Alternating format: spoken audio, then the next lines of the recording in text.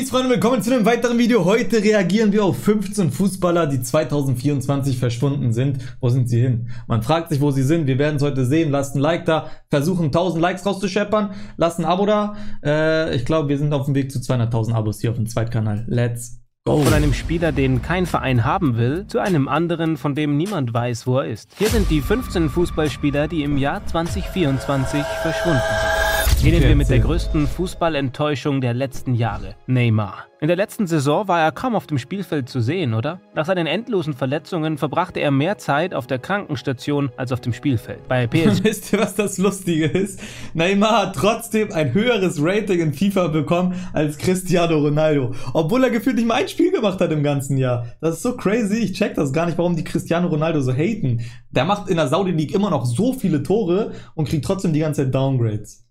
PSG war sogar den größten Teil der Saison 2022-2023 verletzt. Dieser Mann konnte nicht einmal an den wichtigsten Spielen teilnehmen. Das führte zu einer großen Lücke für Paris und verärgerte die PSG-Fans sehr. Und dann, ganz plötzlich, im Jahr 2023, verließ er Europa und wechselte zu Al-Hilal in Saudi-Arabien. Viele waren überrascht, da er zuvor kaum in Form war, und dennoch gaben sie ihm einen völlig überteuerten Vertrag. Trotz all seiner Verletzungen hat er es immerhin geschafft, bereits fünf Trophäen zu gewinnen, darunter eine gegen Cristiano Ronaldo im Finale.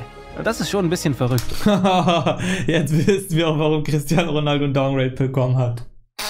Oder? Der Typ ist ein bisschen wie ein Geist und hat ihn im letzten Jahr kaum gesehen, aber er ist immer noch da und holt einen Titel nach dem anderen. Lass uns nun über seinen ehemaligen Teamkollegen bei PSG sprechen, Marco Ferratti. Wenn sich viele Spieler dazu entschließen, ihre Karriere bei dem Verein ihrer Kindheit zu beenden, schlug Marco Ferratti eine andere Richtung ein. Anstatt nach Italien zurückzukehren, wählte er den Weg nach Katar. Für einen Spieler wie ihn war das etwas überraschend, vor allem da er erst 30 Jahre alt war. Aber hey, Geld regiert die Welt. Verratti bleibt eine Legende bei PSG. Er kam 2012 im Alter... Bro, das Ding ist, Paris zahlt ja schon viel, ne? Paris ist ja schon so ein Money-Glitch. Viele wechseln ja schon zu Paris, weil die da richtig viel Kohle verdienen. Und dann, wenn du von Paris, wo du schon richtig viel Kohle verdienst, mehr als wahrscheinlich überall woanders, mehr als bei Real Madrid, mehr als bei Barcelona wahrscheinlich sogar, dann noch in die Saudi League wechselst, das ist echt der aller, aller echte Saudi-Deal, Digga. Die schließen die Deals so ab mit Schnipsen von 19 Jahren nach Paris und dominierte das Pariser Mittelfeld schnell mit seiner Vision und Spielpräzision. Im September 2023 unterzeichnete er einen Dreijahresvertrag bei Al-Arabi für 45 Millionen Euro. Er entschied sich zweifellos für die finanzielle Ruhe. Kurzum, auch fernab von Europa ist er immer noch eine große Ikone für die Italiener. Ja, Während Ferrati Fall. sich dafür entschied, Europa zu verlassen, um dem Geld nach Katar zu folgen, wollte der nächste Spieler verzweifelt weiter auf höchstem Niveau in Europa spielen, aber man ließ ihn nicht. Paul Pogba, einst Goldjunge und Weltmeister, wurde als einer der besten Spieler der Welt angesehen. Er hatte das Potenzial, eine echte Legende zu werden, wenn er das wollte, aber leider war nichts davon möglich. Nachdem er in seiner Anfangszeit bei Juventus geglänzt hatte, unterschrieb er 2016 bei Manchester United, wo er eine Enttäuschung nach der anderen erlebte, was vor allem auf seine Unregelmäßigkeit, seine Verletzungen und seinen Lebensstil zurückzuführen. Und jetzt wurde er einfach noch gebannt für Doping oder so, ne? Erzähl mal dazu was. War. Im Jahr 2022 kehrte Pogba zu Juventus zurück und versuchte seine Karriere in einem ihm vertrauten Umfeld wieder in Gang zu bringen. Doch leider traten die Verletzungen erneut auf und das Schlimmste war, dass er nach einem positiven Dopingtest für vier Jahre vom Fußball gesperrt wurde. Wir werden Pogba also bis August 2027 nicht wieder Fußball spielen sehen. Es sei denn, es gibt eine Überraschung. Vielleicht. Und diese Überraschung gab es jetzt. Werden wir ihn nie wieder auf einem Fußballfeld sehen. Nummer 4. Denn Pogba wurde wieder freigegeben. Ich glaube, nächstes Jahr, also 2025, darf er wieder Profifußball spielen. Und wir werden ihn wahrscheinlich wieder sehen. Ich hoffe ohne Verletzung, weil er ist eigentlich ein sehr geiler Spieler. Arturo Vidal. Vidal war ein Monster. Er machte sich zuerst bei Juventus einen Namen, zu denen er 2011 wechselte. Jeder kannte ihn für seinen aggressiven Stil, aber ja, gleichzeitig schoss er auch viele Tore. Auch Seine. Leistungen in Italien machten ihn zu einem der besten Mittelfeldspieler der Welt. Nachdem er in Italien geglänzt hatte, setzte Vidal seinen Aufstieg fort und unterschrieb bei Bayern München und später bei Barca. Im Jahr 2023 wechselte er nach einem Abstecher bei Flamengo zu Atletico Paranaense. Leider durfte er aufgrund einer schweren Verletzung fast vier Monate lang nicht mehr aufs Spielfeld. Heute ist er er jedoch wieder bei Colo Colo, dem Verein, bei dem er vor 17 Jahren... Was für ein Flex, Digga. Er wird da mit Helikopter vorgestellt. Er wird mit Helikopter ins Stadion geflogen und dann vorgestellt. Was ein Flex. ...seine Karriere begonnen hatte. Vidals Karriere ist beeindruckend. Er hat in den Digga, größten europäischen Vereinen wie Juventus, Bayern... Bro, er kommt mit Pferd zur, zur Spielervorstellung. ...Barca und so weiter gespielt. Doch dieser nächste Spieler hat eine völlig entgegengesetzte Laufbahn eingeschlagen. Der Brasilianer Oscar. Das brasilianische Talent, das sich buchstäblich dafür entschieden hat, komplett aus dem Radar des europäischen Fußballs zu verschwinden, um dem Geld hinterherzujagen. Und er tat dies ohne einen Augenblick zu zögern. Mit 25 Jahren war er auf dem Höhepunkt seiner Karriere bei Chelsea, ein Schlüsselspieler in einem der besten Vereine der Welt und plötzlich überrumpelte er 2017 alle mit seinem Wechsel nach China. Damals war ein Umzug nach Asien noch nicht so angesagt wie heute, was seinen Abgang umso überraschender machte. Mit 25 am Peak seiner Karriere, ne, das ist hart, Bro. Am Peak ist hart. Und seien wir ehrlich, er tat es nicht aus Liebe zum chinesischen Fußball, Nee. sondern vielmehr wegen des horrenden Gehalts von 25 Millionen Euro pro Jahr. Das Ja, war ein okay, Rekord. aber 25 Mio pro Jahr, Bro. Mach das ein Jahr, du bist durch. Mach das drei Jahre, hast 75 Mio. Bro, deine nächsten Generationen, die Generation der nächsten Generation sind durch, wenn die, wenn die schlau sind. Transfer nach Asien und machte ihn zu einem der bestbezahltesten Spieler der Welt. Folglich verließ er das europäische Rampenlicht, um dafür zu sorgen, dass es seiner Familie an nichts fehlt. Und selbst wenn du seine Entscheidung nicht respektierst, Hm. kannst du dir sicher sein, dass seine Familie es tut. Das Mhm. Verrückte daran ist, dass Oscar dem europäischen Fußball derartig entflohen ist, dass man meinen könnte, er sei jetzt alt. Aber nein, er ist in Wirklichkeit jünger als Kevin De Bruyne und erst 33 Jahre alt, was darauf hindeutet, dass er noch jahrelang in Europa hätte glänzen können. Mhm. Letztendlich hat er sich für die finanzielle Sicherheit entschieden und nicht für Titel und eine Karriere in Europa. Ja, die Frage ist, was hätte man selbst gemacht, ne?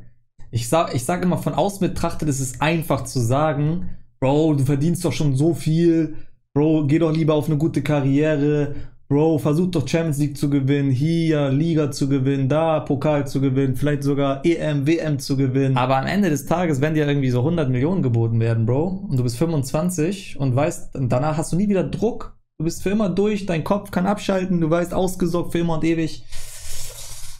Schwer, Bro. Schwer, Bro. Aber wenn wir schon von Brasilien sprechen, wer erinnert sich nicht an Felipe Coutinho? Niemand. Die meisten Vor allem so viele Fußballer, die so gerade so im Durchbruch sind, so, die so irgendwie mal spielen, mal auf der Bank sind. Wenn die so ein Angebot bekommen, ich kann sogar komplett nachvollziehen, wenn die das annehmen, ne? Ich kann es komplett nachvollziehen, weil die haben so viel Druck, die haben so viel Leistungsdruck, so viel mit dem Kopf auch zu tun. Werde ich schaffen, werde ich es nicht schaffen? Werde ich überhaupt äh, in meiner kurzen Karriere jetzt, die ich jetzt habe, aussorgen? Oder äh, ist nächstes Jahr niemand mehr an mir interessiert und dann habe ich keine Ausbildung, kein Studium? Bin gefühlt ein, nur wisst ihr, was ich meine? Das ist nicht so einfach alles. Das, da, da zählen immer viele Punkte mit rein. meisten Fußballfans werden diesen Namen nicht so leicht vergessen. Besonders weil er in Liverpool gespielt hat. Coutinho kam 2013 Ja, zum Verein Coutinho und wurde krank. direkt zu einem der besten Spieler des Teams. Er legt ein Wahnsinnsdribbling nach dem anderen hin, spielt millimetergenaue Pässe und versenkt Fernschüsse, die alle sprachlos machen. Coutinho Kein Wunder, krank. dass die Fans in Anfield ihn vergötterten. Offen gesagt gehörte er damals zu den besten Mittelfeldspielern der Premier League. Im Januar 2018 wechselte Coutinho für eine ungeheure Summe nach Barcelona, was seiner Karriere einen enormen Schub verleihen sollte. Doch die Dinge liefen nicht wie geplant. Er erreichte nie das Niveau, das er in Liverpool hatte. Seitdem folgten Leihgeschäfte und Transfers, darunter auch die Rückkehr in die Premier League mit Aston Villa. 2023 ging er nach Katar und vor kurzem kehrte er zu Vasco da Gama, seinem Heimatverein, zurück.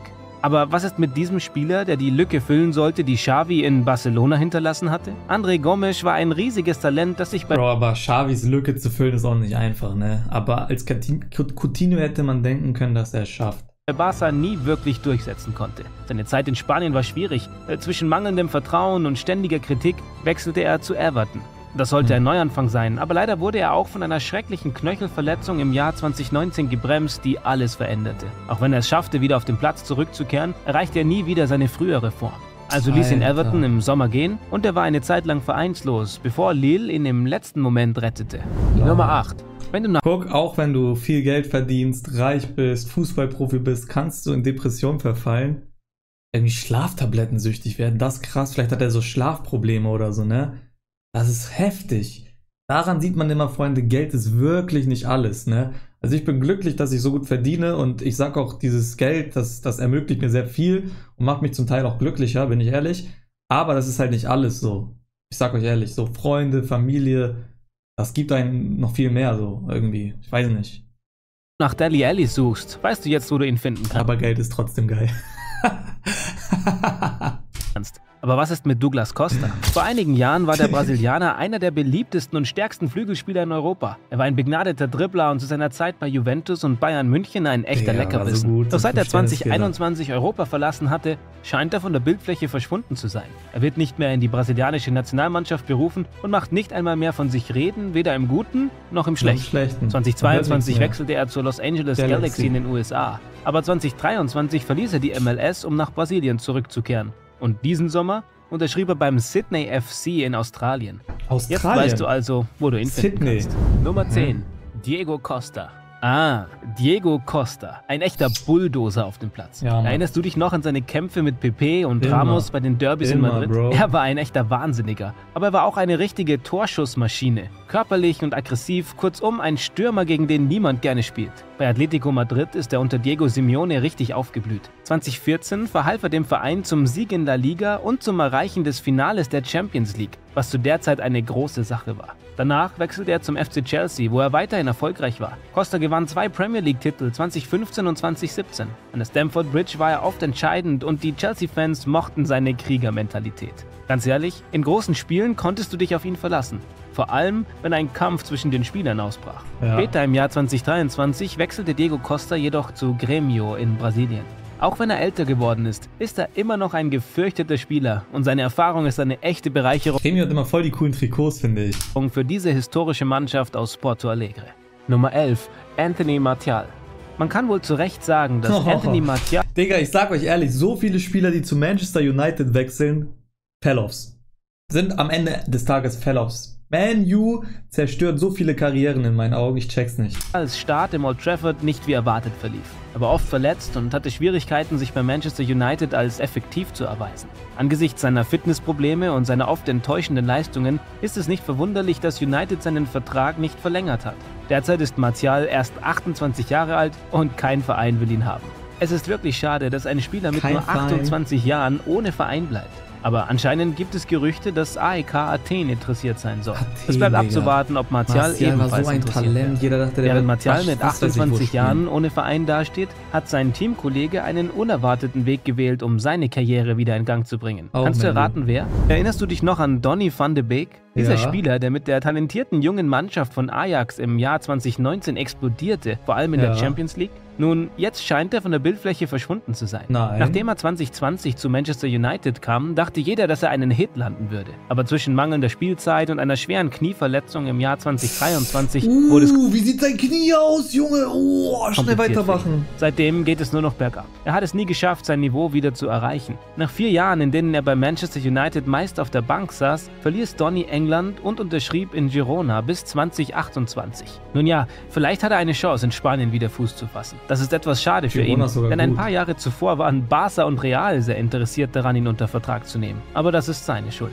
Der nächste Spieler hingegen ist Das eine ist ziemliche Schuld. Verschwendung. Wir erinnern uns an eine der größten Hoffnungen des brasilianischen Fußballs, die die Erwartungen nie erfüllt gewesen? hat. Die Rede ist von Alexandre Pato, der im Alter von Digga, wie habe ich ihn erkannt? Wie habe ich Alexandre Pato gerade erkannt? 17 Jahren Pelés Rekord brach und zum jüngsten Spieler wurde, der bei einem internationalen FIFA-Wettbewerb ein Tor erzielte. Jeder war davon überzeugt, dass er das neue Mhm. brasilianische Licht der Pato. Welt werden würde.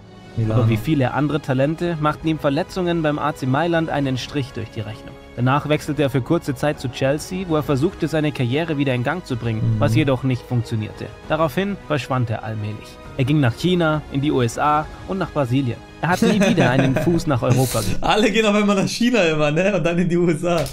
Ob du es glaubst oder nicht, Krass. Pato ist erst 35 Jahre alt und jedes Mal, wenn man über ihn spricht, könnte man meinen, er sei ein Spieler, der in den 90er Jahren gespielt hat, da er so lange Zeit vom europäischen Fußball abgeschnitten ist. Das. Nummer 14. Dimitri Payet, der, als er 2015 bei West Ham unterschrieb, direkt zum Liebling der Fans wurde. Mit seinen verrückten Dribblings und unglaublichen Freistößen konnte er ein hat so eine Spiel in einer. Sekunde umdrehen. Seine Saison 2015-2016 war enorm. Er wurde sogar in die Stammelf der Premier League berufen. In der letzten Saison war er jedoch vom Radar verschwunden und die Leute begannen sich zu fragen, wo er geblieben war. Tatsächlich hatte er Europa verlassen und heute spielt Payet in Brasilien, zusammen mit Coutinho bei Vasco de Gama. Er hat 2023 einen Zweijahresvertrag unterschrieben. Nun, jeder sollte zustimmen, dass das letzte Mal, dass wir Varan Fußball spielen Varane, gesehen haben, boah, vor ein paar. Monaten bei Manchester United war, oder? Aber in der letzten Saison hat er wirklich sehr wenig gespielt und war fast immer verletzt. Er hat mittlerweile ein 82er Rating in FIFA und ist nicht mehr spielbar. Das war immer so eine Starterkarte, die konntest du jedes Jahr easy zocken und die war jedes Jahr richtig viel wert. Der Start in Manchester Einfach war vielversprechend, aber die Verletzungen wert. haben ihn ausgebremst. Trotzdem war er eine Stütze in der Abwehr, beruhigend und solide. Er machte kaum Fehler und war immer da, wenn er gebraucht wurde. Ja, Mann. er Körperliche Probleme da. machten ihm zu schaffen und sein Abenteuer in der Premier League endete schneller als erwartet. Krass, Doch ey. anstatt es dabei zu So belassen, nahm gehen. Rafael Varane eine unerwartete Wendung. Como, der neue Serie A-Verein unter der Leitung von Cesc Fabregas, unterzeichnete einen Zwei-Jahres-Vertrag mit ihm. Doch nach nur einem Spiel, Ja, crazy. bei dem er verletzt wurde, gab Varane vor einigen Tagen seinen Rücktritt bekannt. Heftig, heftig, heftig. Freunde, das war's mit dem Video. Wenn es euch gefallen hat, lasst ein Like da, abonniert meinen Kanal. Dankeschön für alles. Bis zum nächsten Mal. Ciao.